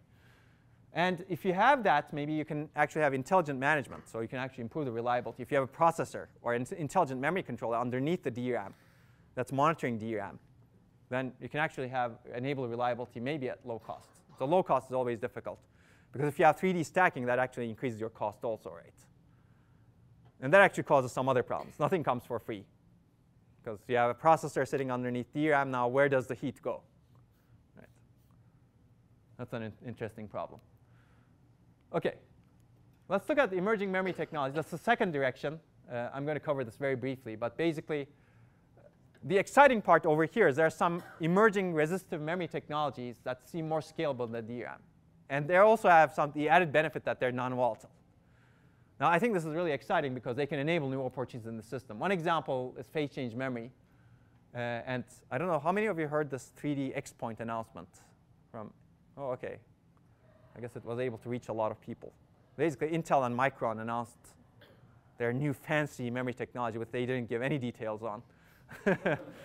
it's called 3D XPoint. And a lot of people speculate that it's based on phase change memory, uh, based on their previous works, of course. It's not clear. We don't know. We don't know if it's even real. Maybe real. but we'll see. Uh, but basically, uh, these technologies are real, though. They exist. People have been testing them. And phase change memory, at the same time, ITRS said it's difficult to scale DRAM below 35 nanometers. They were saying phase change memory is scalable to 9 nanometers. And IBM actually prototyped that at 20 nanometers in 2008. So it's a very scalable technology. And we'll talk about why it's scalable, because it's resistive, actually. You're not relying on charge. Uh, it's expected to be denser than DRAM because you can actually store multiple bits per cell. You can chop up the resistance range into multiple bits. The problem is a lot of these technologies, and uh, there's MRAM, magnetic memory, and there's also uh, memristors, RRAM, resistor RAM. The problem is these emerging technologies have many, many shortcomings as well. The key question is, can we somehow enable them to replace, augment, or surpass DRAM? It's actually a good direction also. Uh, and I would recommend actually this paper. I didn't assign it this time because I didn't want to overload you, but this is uh, one of the first papers in the area, uh, architecting phase change memory as a scalable DRAM alternative. Uh, uh, and you can take a look at that. Uh, it basically, we examined the state of the art at that point in phase change memory and looked at how can you actually use the technology that we have today for phase change memory just to replace DRAM, and what are the implications on not the system, but just performance and energy. We didn't look at the persistence characteristics. It's just performance and energy, uh, and endurance, of course. One of the problems with these technologies, well, some of them, in phase change memory, for example, as you write to a cell, uh, you degrade the contacts. As a result, at some point, you're not able to read from the cell. It's called the wear out problem. You wear out the cell. Flash memory has this, and it's becoming a bigger problem in flash memory going forward. But these technologies also have it. So if you have memory that has this wear out problem, how do you actually make it work? Right? That's actually really interesting, I think. That's and one of the interesting questions is, does DRAM have the wear out problem? People actually have thought DRAM doesn't have the wear out problem, but that's even, even for that, I think jury is out when the DRAM technology becomes smaller and smaller. OK, so I think the third solution direction, which, in, which is uh, pro very promising, is building hybrid memory systems that look like this. Basically, if you cannot design a single technology that's good at everything, why not design multiple technologies and put them together somehow? And this is just one example. This is, it doesn't have to be like this, right? You can have a single memory channel connecting to a DIMM that contains multiple technologies together, and somehow somebody manages it. But the key is here, you somehow design the hardware and the software to manage data allocation and movement to achieve the best of multiple technologies. greens as much as possible while avoiding the reds as much as possible. I think this is at the high level heterogeneity idea is actually very fundamental, right? You basically this enables the scaling of the system without relying on single technology. Now, of course, the downside with any kind of heterogeneous system is complexity, right? Now, some, somebody needs to bear that complexity, and, and you need to have good mechanisms to take advantage of it. But this is already happening, actually. If you look at the systems today, you, you, you already have very high bandwidth DRAM, as well as high capacity DRAM, right? 3D stacked DRAM. Uh, actually, people have DRAM caches right now. Uh, uh, IBM has lots of DRAM caches, and they're based on EDRAM technology, embedded DRAM technology. And then you have the commodity DRAM as your main memory. So you already have this bifurcation in memory system. And it's going to increase going forward. As you have technology scaling problems, this bifurcation in increase. And then maybe there's, you can think of this as going back to Kuhn's scientific revolutions. It's kind of a little application of it. You have no consensus in the field. You have all these memory technologies that are proliferating, and you're using them in the best ways. And then some technology comes and, oh, it's good at at least reasonable at everything, and then it replaces all of the heterogeneous memories. Maybe it'll happen. I don't know. But it's always good to think about. OK, so one example I will give uh, to just to exercise your thought uh, is uh, basically if you can have uh, error tolerance in applications, can you somehow exploit it using hybrid memory systems? And I'm going to refer you to the paper, but this is just a cartoonish picture. You can have different kinds of data in an application, and it can be vulnerable to different extents to memory errors. So if you get a single bit flip, maybe you don't care in this part of the data. A bit, a pixel changes on the screen. Who cares, right? Maybe. But a pointer changes such that you get a seg fault. Well, maybe you care about that pointer a lot, right?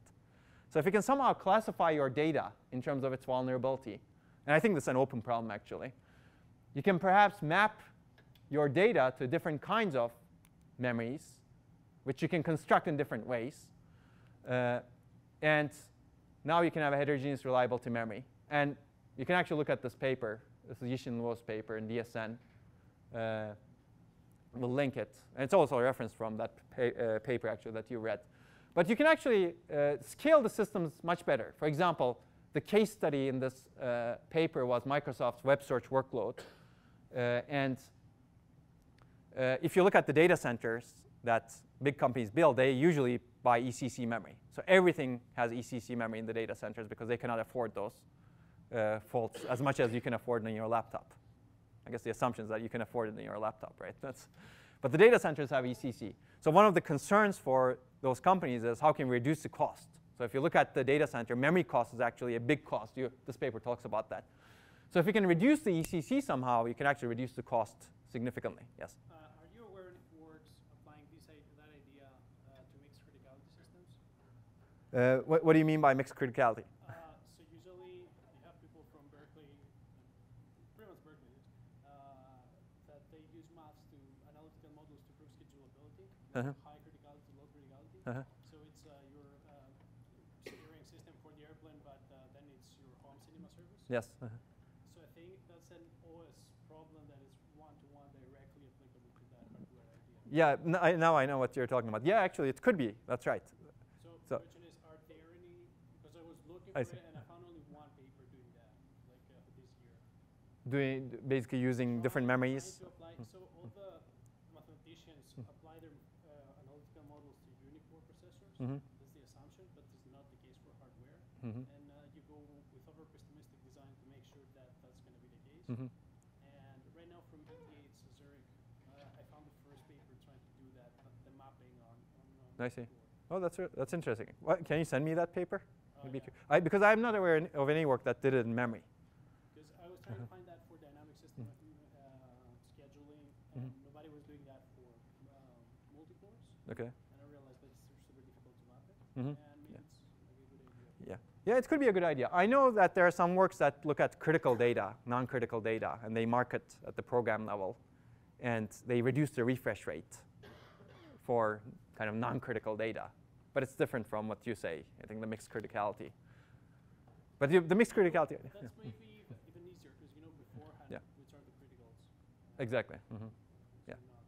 yeah, the, the reference, I'll, i mean, send me, send me an email for the paper, but the reference that I talked about is called Flikker. I think it was published in S, S 2011 from Microsoft Research. Uh, yeah, if you just search for Flikker, F-L-I-K-K-E-R, it talks about this idea. Somehow partitioning your data as critical and non-critical, and for non-critical stuff, you don't need to refresh as much. But how do you build this low-cost memory is interesting. Basically, uh, uh, what we did in this study was uh, Yixin looked at the web search workload and he showed that you can actually reduce the server hardware cost by 4.7%, with some assumptions, of course. You can read the paper, uh, while still achieving single server availability target of 99.9%. Pretty good, assuming you have you've reduced the hardware costs, you've gotten rid of ECC in some of your memory space. So I think going forward, this kind of solutions are really interesting, actually. This paper just scratches the surface, in my opinion. How do you actually do that? in better ways. How do you do that in more automated ways is really interesting because there's a lot that goes on here, right? How do you actually designate your vulnerable, non-vulnerable data? Who does it? How do you actually do the mapping? What kind of memories actually do you design? It's a huge design space, right? It's application specific also, right? You, you clearly need to know about your application to be able to do this. OK.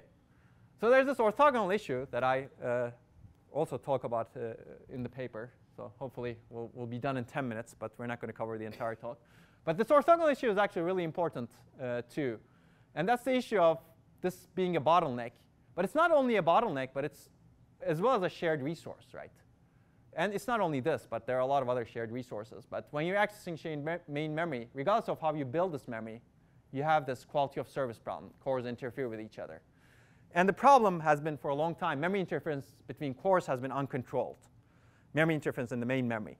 Uh, also in caches, right? When, when people first designed shared caches, there was no control. One core could actually be streaming and it would kick out the data of another core. Now Intel actually has mechanisms in Haswell to actually control it.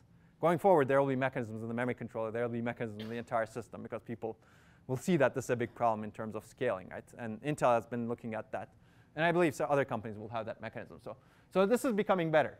But the problem is if you don't have, if you cannot control the interference, you can have unfair system. You can starve some application. You can have low performance, right? Because one application streams through the cache. It doesn't even benefit from the cache, but the, makes the cache useless for everybody else because it kicks out the data for other applications, right?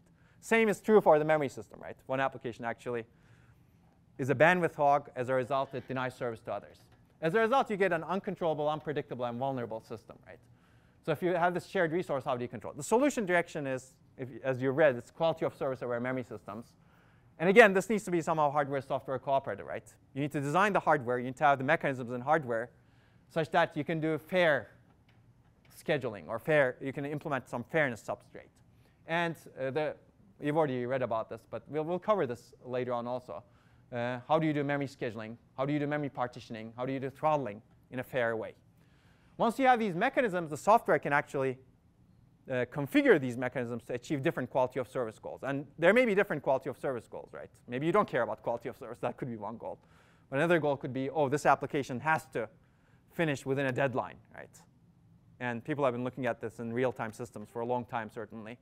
Uh, but in multi-core systems, maybe there are soft deadlines depending on how you use it, right? If you have, for example, a data center, if you want to consolidate applications, some of which have requirements, in terms of service levels, you need to provide some sort of guarantee. Yeah. Regarding partitioning and throttling uh, yeah. or fair sharing of the resource, could there be, could we be inspired by protocols that have been developed for networks? Because mm -hmm. a network link could, and the way they manage congestion in networks mm -hmm. could be uh, could be analogous to what an yeah. Ab absolutely. Yeah, there there are a lot of similarities, I think, and. Uh, how how protocols mm -hmm. that are, that are mm-hmm. successful Mm -hmm. Yeah. It's applicable, but you need to take into account the unique properties of the on-chip system. So it's definitely, you can, you can. So uh, actually, I will recommend one paper, the stall time fair memory scheduling paper uh, that we did in Micro in 2007. We did exactly that. So uh, there's network fair queuing. People have looked at fair queuing for a long time, right? That, and they've developed many, many mechanisms for fair queuing.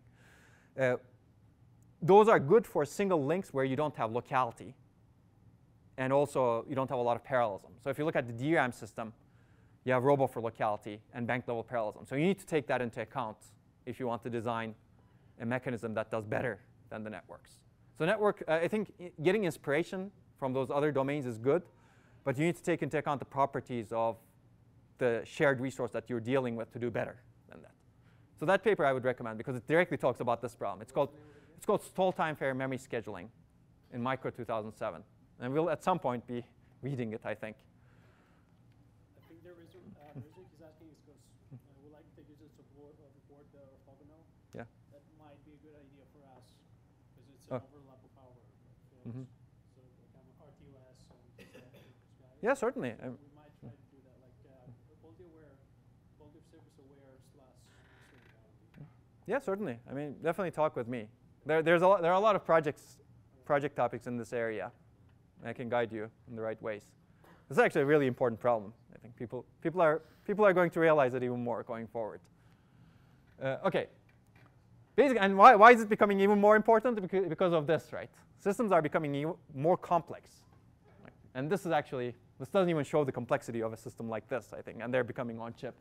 But basically, you have all these different agents, uh, shared caches at different levels, uh, DRAM and hybrid memory controllers going forward, DRAM and hybrid memories. You have heterogeneous agents and heterogeneous memories. Then the key question is how do you actually allocate the resources to these heterogeneous agents to mitigate the interference and provide predictable performance? That's the problem statement at the high level. And I think having mechanisms for this is really important. Uh, one good direction that I like uh, is I think uh, strong memory service guarantees are really interesting. How do you actually provide some strong guarantee in terms of latency, bandwidth, or performance? Uh, one approach, it's not the only approach, but I think uh, a, a really interesting approach is somehow develop models to accurately estimate the performance loss of an application when it's running together with other applications. So you add the monitoring mechanisms such that you estimate the performance loss that you get online. And if you can do this accurately, that's great, right?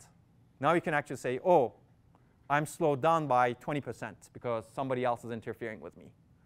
And if you can do this compared to a reference system, that's even better. Let's say I'm compared to this machine, that uh, if I were running alone on this machine, I would be running 25% faster. If you have that information, now you can actually try to achieve a bound, right? Slowdown bound. Uh, and how do you achieve that bound? Now you need to have the mechanisms for resource partitioning and prioritization such that you get achieve that slowdown bound. And this is actually not an easy problem uh, because it's not an easy problem when you want high system performance, right? When you have a lot of applications sharing the system. Otherwise, quality of service is not a problem if you actually have one application running alone all the time, right? That's, and you guarantee resources for it. Okay, so I think the solution direction, this is also referenced in the paper, but uh, uh, my student Lavanya actually has done a lot of work in this area. Her thesis was on this area, but there's, there are a lot, there's a lot more to be done in this area actually. Like if, you, if you want to do projects in this area, definitely talk with me.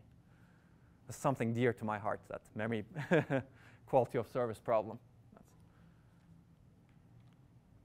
Okay, so I think I'll leave you at this point because we're almost out of time. But basically, maybe we'll start from here, maybe we'll start from something else. But I think there are three major solution directions that we were, I was going to talk about if we had the time. New memory architectures, rethinking DRAM, and as you will see, rethinking flash memory is also important.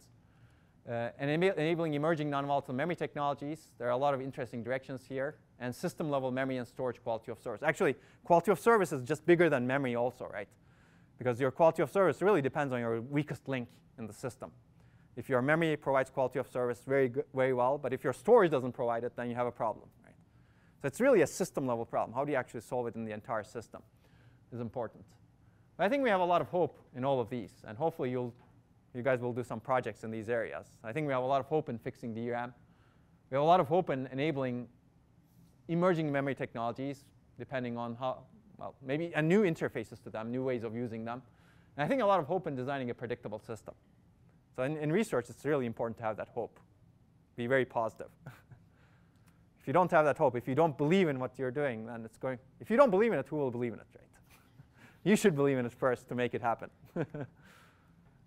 because there will be a lot of other naysayers that will not believe in it. okay. That's all I have for today. Any questions? Comments? Okay, I guess we have a lecture tomorrow, and you know your assignments. These will be posted soon. I'll see you next week. And I